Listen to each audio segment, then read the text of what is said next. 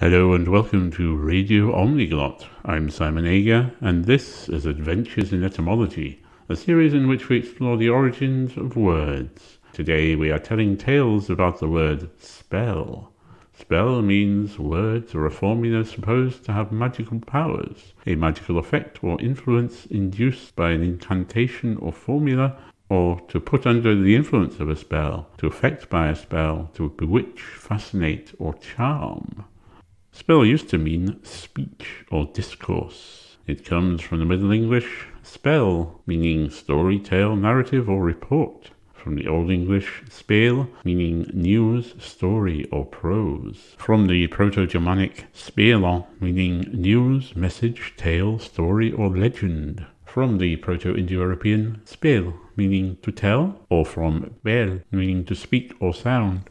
Words from the same roots include gospel in English, Spjall, meaning talk or gossip, and spjalla, meaning to chat or converse in Icelandic, and fjalë, meaning word in Albanian.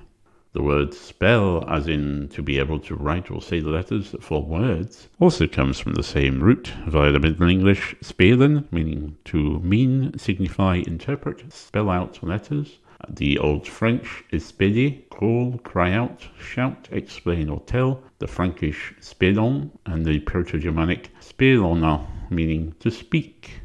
You can find a transcript of this podcast, links to further information, and other podcasts at radio.omniglot.com.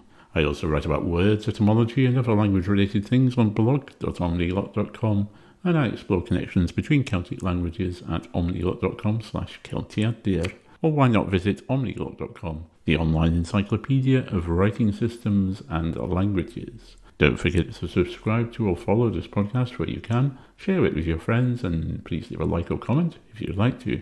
To support Omniglot, you can make a one-off or regular donation at patreon.com slash omniglot. Thank you for listening and or watching, and goodbye.